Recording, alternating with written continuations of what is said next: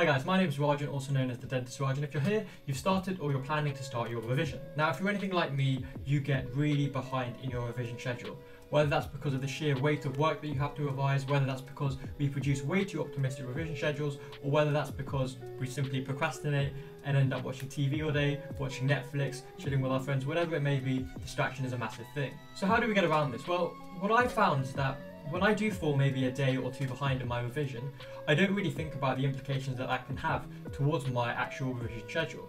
And so if I miss a day, I miss two days, that two days can turn into a week and can turn into a fortnight, and suddenly you're really, really behind in your schedule, finding you're cramming in the last two weeks. So what I found has really helped me over the last few years is to produce a live revision tracker, which allows me to see how far I am falling behind, you know, the amount of lectures that I have to do if I have fallen behind per day, just so I can really keep on top of things and never find myself cramming and worrying in the weeks leading up to the exam. So let's go over and take a look at it. So here we have it, my live revision tracker. This tracker is great because it allows you to have a day-by-day analysis of how your revision is going, have a predicted revision completion date, it allows you to see if you're falling behind schedule, and if you are falling behind schedule, it actually adapts day by day to show you how many lectures you need to complete that day if you are that far behind schedule. So the first thing that we obviously have to do is produce a revision list. We need to work out everything that we need to revise up until the exam and whether that's lectures or topics or subjects, you know, however you want to do it. So I've divided all my content up into lectures. I, have you know, scripted down lecture by lecture to make it easier for me to understand. Most of you know that I'm intercalating this year, so I've got all my BSc stuff on the left hand side as you can see, alongside years two and three of our dental course, so I can, you know, refresh my memory before I go back to dental fourth year in August. So in total we have 182 lectures that I want to complete over the next two months. I've obviously gone over these lectures already. This is just going to me this is just going to be me revising them, um, so to speak, at least once um, from the time now up until the exam day.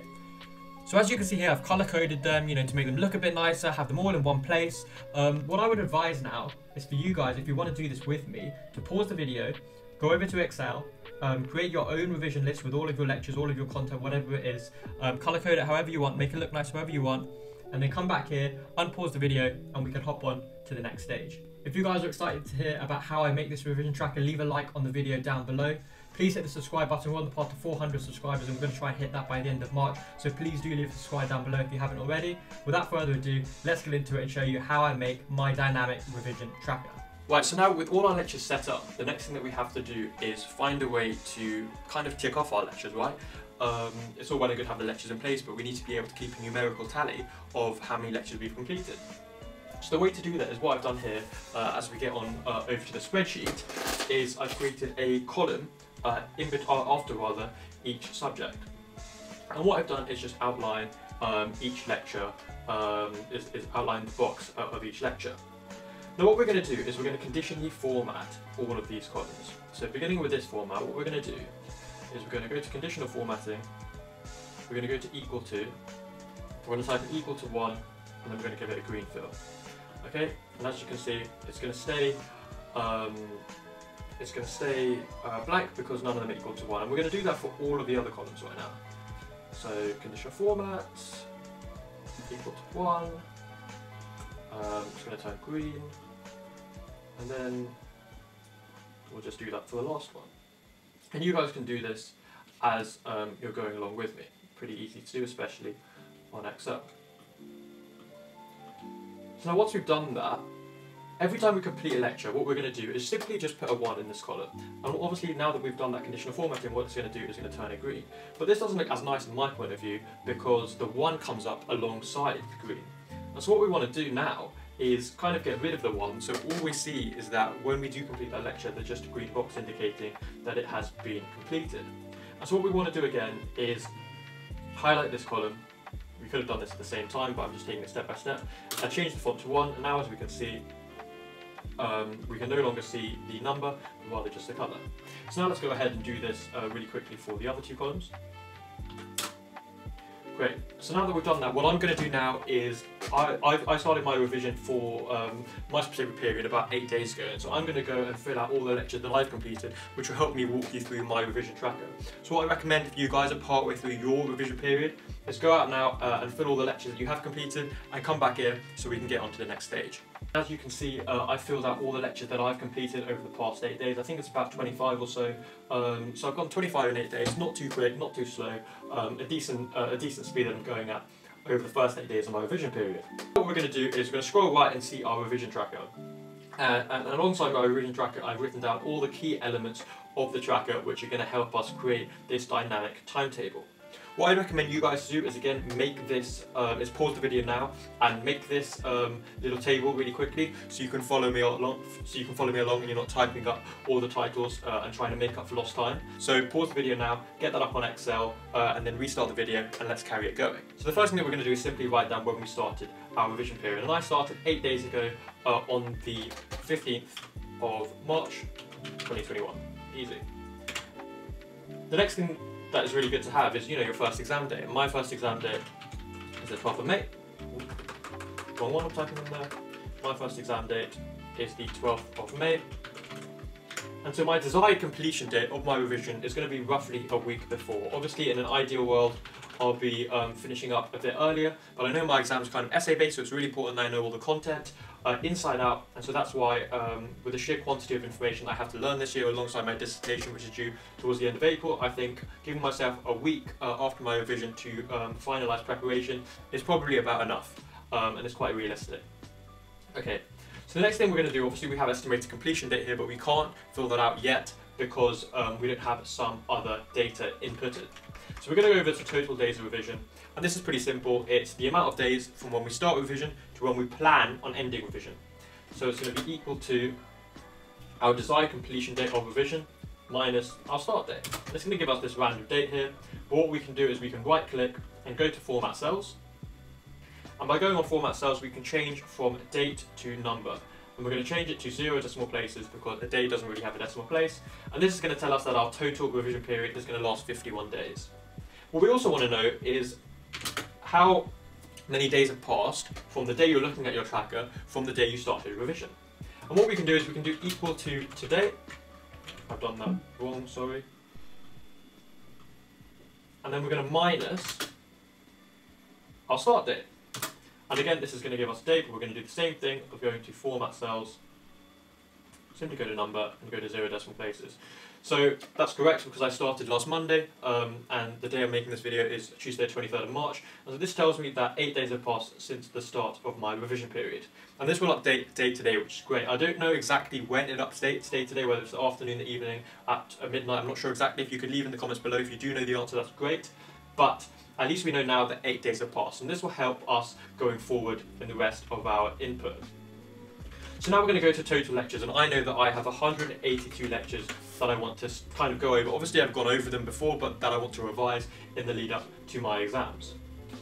Unfortunately, for me, there was no real other way than counting up each module and just, you know, counting the lectures up one by one. But if you guys know a quicker way of doing so, better than just um, simply doing it in a boring manner than that, that's great. Now what we're going to do is, um, I want to know, you know, how many lectures have I completed? I don't want to have to count up every single green square each time that I complete a lecture or have to um, add one um, in a table each time that I complete a lecture. I'd rather it just do it automatically. And we've kind of done that already, we've given ourselves a means to, because every time we complete a lecture, we put one in a box. So there must be a way of adding all these ones together, and there is.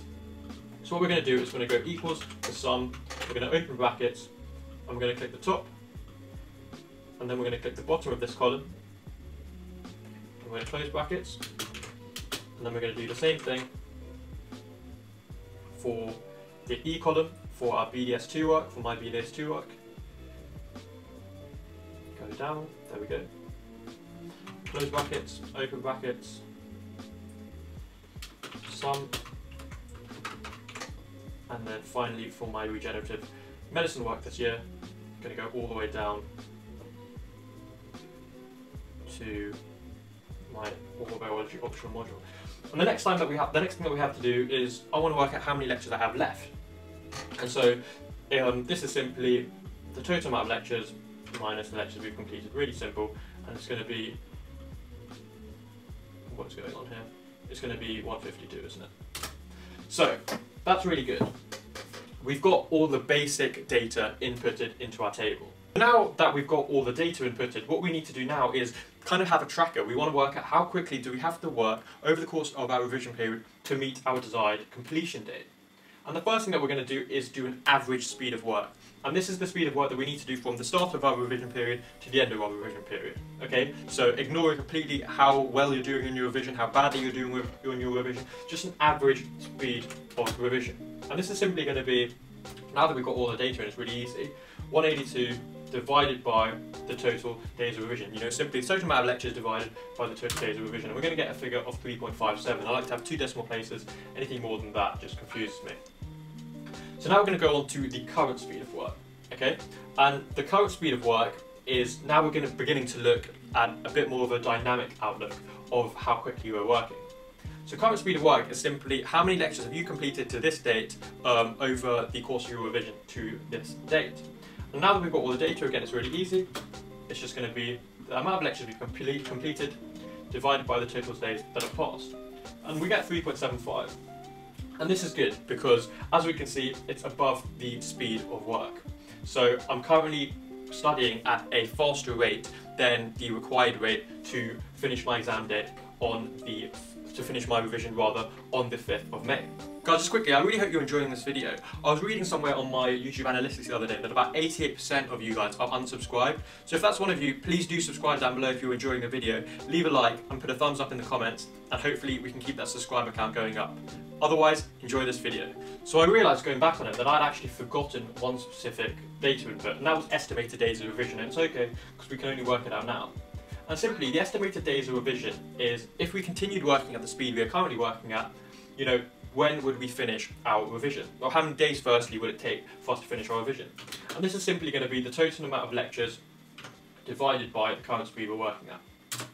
And that's going to be 48.5333 recurring, but we don't want to be having a recurring number, so we're going to take away those decimal points if my computer just hurries up that little bit, and we're going to take it down to two decimal places. Okay, so as you can see, this is roughly two and a half days um, sooner than um, we were estimated to finish. Now we can work out the estimated completion date. And we would do this by having a project start date and adding the estimated date of completion. And then this will give us our estimated completion date. As, as simple as that, because we've got all that data already inputted.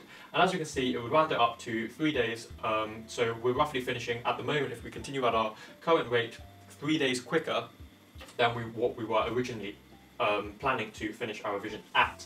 So now we've more or less completed our revision tracker. There are just two aspects that I personally like to have, which you don't need to have, but I personally like to have, to just keep an idea of um, the pace that I need to study uh, and how I'm really doing in my revision. So the first is the new required speed of work. And this is what I like to complete. So the new required speed of work is how quickly am I going to have to revise from today so not the start of my revision, from today, so that I can still finish on my desired completion date.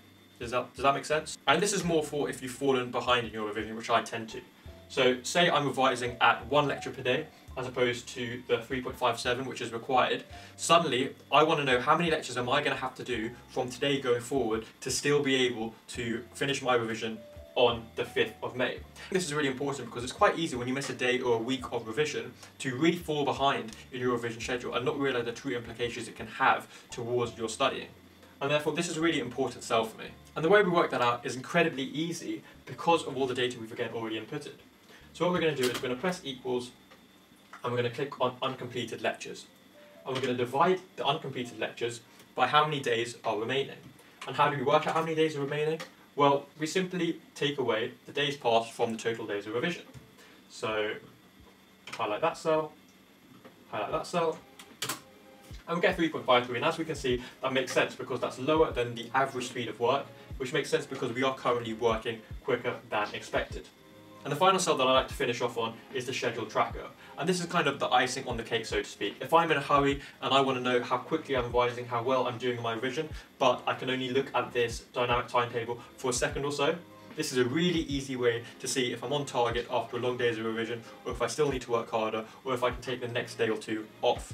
And all the schedule tracker is going to do is really simply tell us how well our revision is going. And we're going to do that by dividing our current speed of work by the average speed of work. And this is going to give us this ridiculously long value, which we're going to take down to two decimal places. And what we're going to do is we're going to conditionally format this cell, okay? And we're going to conditionally format this cell in two ways. The first is going to be, if the format is greater than 1, it means we're doing well. Because it means that we are achieving at, um, we are working at a rate faster than um, 3.57 lectures a day, which means we are on track for hitting our desired completion date. However, we're also going to conditionally format this cell to be if it's less than 1, then it's going to go red. That really sums up my revision tracker. I think it's a great way of keeping tabs on how quickly you're revising, how well you are studying, and whether you're keeping on top of your work. Now really quickly, let's just put this to the test. Let's say that your revision is going pretty badly, and you've had a week of revision and you've only done maybe five modules or five lectures. So let's change our completed lectures to five. As you can see, the whole schedule tracker changes. Importantly, we can see that the current speed of work has gone down to less than one lecture a day. It shows that the new required speed of work isn't too bad. Now we only need to do four lectures a day to still achieve our revision uh, desired completion date of the 5th of May. And this is because we've only been revising for a week. So even though we've been going slowly, we can still make it up. However, what we can see is that at the moment, if we carry on at our current rate, it's going to take us just under a year to complete our lectures. And our current estimated completion date is the final, I didn't even realise that was the case, was the final day of the year, the 31st of uh, December. And finally, yes, the schedule tracker is red and it is 0.18, which is well below the value of 1, which simply tells us that we're performing at a level well below our desired rate. That now brings us to the end of the video, guys, the end of my dynamic revision tracker video. As you can see, it's a great way of getting all your lectures in one place, all your modules in one place, having an idea of how many lectures you've kind of ticked off, um, and I think it's a great way of feeling good about yourself when you are doing well in your revision period, which is really important, um, but it's also a good way of kicking up the backside, so to speak, and really showing how far you are falling behind in your revision and how much you need to catch up. As I said before, it's so easy just not to realise how far you are falling behind in your revision. And this is a great way of visually, numerically showing you that you are falling behind in your revision and you need to catch up. My name is the Dentist Raj. I hope you enjoyed this video, guys. Please do leave a subscribe down below if you really enjoyed the video. It goes a huge way to me making more videos for you guys. Leave a like, subscribe, and I'll catch you guys next time.